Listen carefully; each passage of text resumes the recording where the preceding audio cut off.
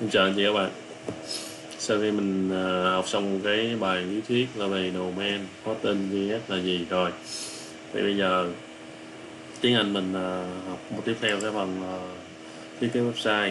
Thì để thiết kế được, để mình có chạy được website hơn là để mình có một cái công cụ để mình vận hành những website thì mình cần có một cái tên miền, cái domain một cái tối thiểu là cái hosting hoặc là VPS và một cái server. Đó thì mình cần cái đó. Thì ờ, ở đây mình chưa có đăng ký domain cũng chưa có đăng ký VPF gì hết. Thì mình sẽ sử dụng một cái phần mềm giả lập trên máy tính cá nhân của mình hoặc máy uh, máy tính bàn ở nhà của mình ở trường để mình giả lập domain hóa tin để mình bỏ website bên đó để mình chạy. Đó rồi bây giờ mình tiếp theo mình sẽ cài một cái phần mềm là tôi giới thiệu đây là phần mềm SAM ha. Đây mình sao? Và lên mạng mình search là, mà, chữ SAM hay đây là vô sẵn rồi. Mạng mình sẽ lên Google mình search SAM mình vô cái trang này. À, ABC VN đây. Là mình vô đây. Đó. Vô đây. Ở đây này có cái bản bản mới nhất là bản 8 chấm. Bản 8 chấm ha. Nhưng mà ở đây tôi sẽ cài ờ, các bạn thấp hơn chút xíu nha. Đó, thấp hơn xíu. Tôi uh, thấp hơn chút xíu là bản kế bản 8 ha kế bản 8 tôi chọn đây đó đây sẽ cài cái bản uh, 7.4 cũng như download. Đó download rồi, rồi ra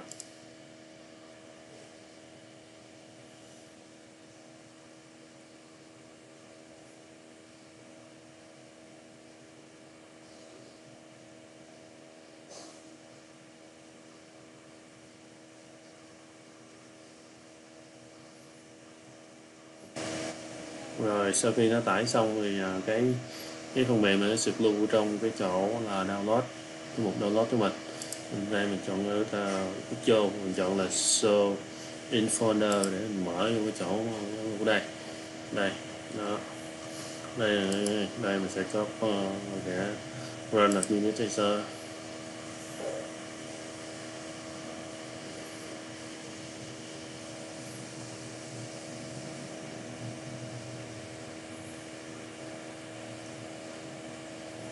rồi, nó lên. Các bạn chuẩn bị bắt đầu mình cài nha rồi đây mình à, ok luôn. Next.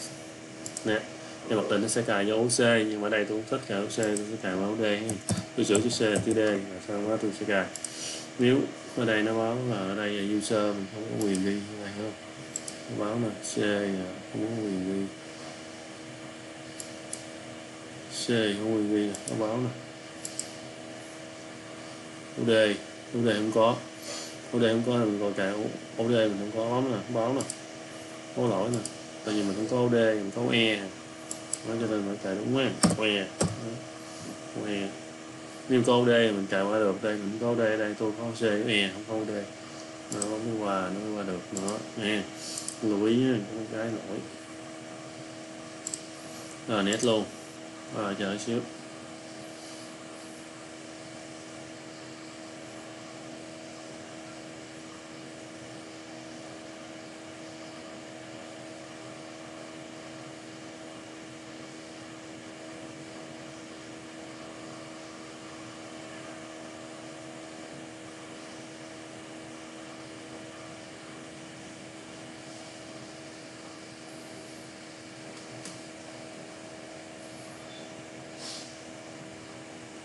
Bên đây mình chờ nó ha. Mình chờ nó chờ.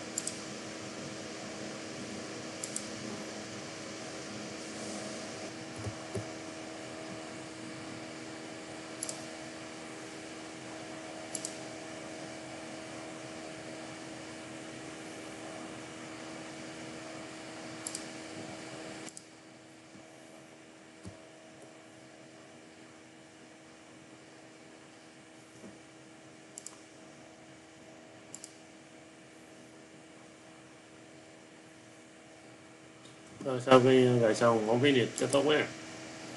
Ừ. sau khi thúc xong rồi mình sẽ test lại coi phần mềm mình chạy. Chạy xong nó nó nó nó có hoạt động được ở trên cái máy tính của mình hay không ha? Thì ở đây mình, sau khi mình cài sao ở đây có nhiều cái dịch vụ ở đây. Mình chỉ cần sử dụng hai dịch vụ à, Apache và MySQL là đủ rồi ha. Mình tạo Apache trước. Mình tạo MySQL nghĩa là ở đây mình đã sử dụng được MySQL cơ sở dữ liệu và APC thì mình chưa có chưa tạo được tại vì báo lỗi nè. Tạo cái báo lỗi cái báo lỗi nè. Báo lỗi là do cái gì đây? VMware báo là VMware nè. Phần mềm VMware Workstation đúng không? Mình thấy à. Thì mình sẽ tắt cái đó đi mình vô service. Service nè. Đó.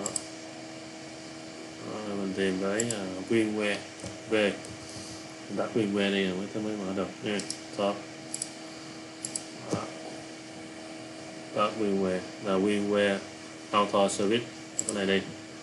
Tải là được. Nha còn nếu tắt VMware mà tắt không được nữa, thì mình sẽ qua cái chỗ là nét tạc này để mình coi cái bọc 80 này nè. Thằng ngạo ở đây nem tên gì ở đây, mà ở đây chiếm dụng. Nó chạy. Nó nếu như biết được thằng đó mình dùng tắt đi, mình mở lại thôi. Ừ.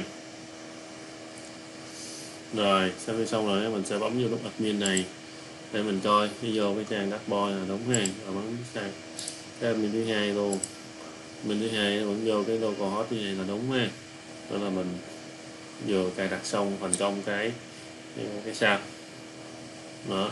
Cái sao ở đây là cái này là chúng ta giả lập cái uh, tên miền là domain và hosting.